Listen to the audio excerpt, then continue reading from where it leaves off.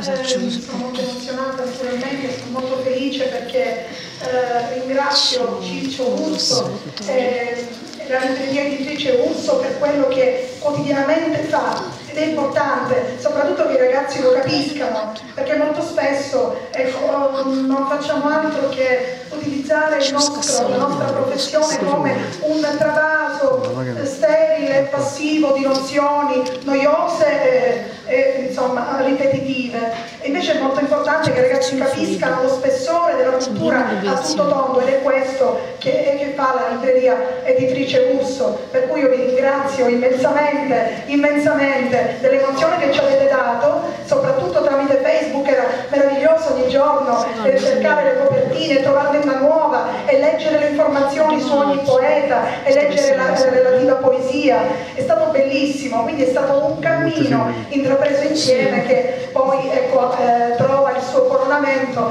in questa serata. Ecco perché mi dico emozionata, non è un modo di dire, ma veramente sento profondamente questo e soprattutto nei confronti di questa casa editrice perché ripeto non c'è la stessa serietà e la medesima eh, profusione di, di valori, di cultura altrove. Sono costretta a dirlo ma è così.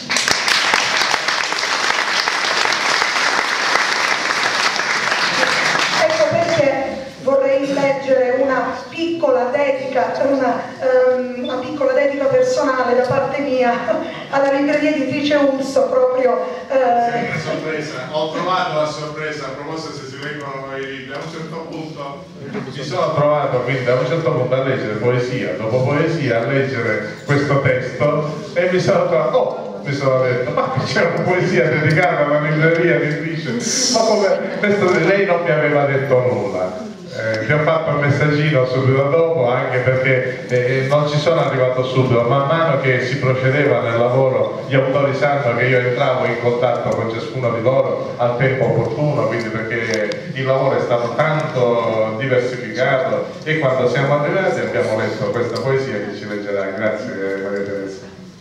Procedi indomita nell'aspro compito di coltivare il sapere dar voce a viva e variegata cultura, obnubilata da ignoranza, indifferenza, noncuranza, inoculate da chi brama comoda inconsapevolezza. Indomita sei, santuario dello scibile umano, baluardo di strenui difensori della lucida e consapevole intelligenza.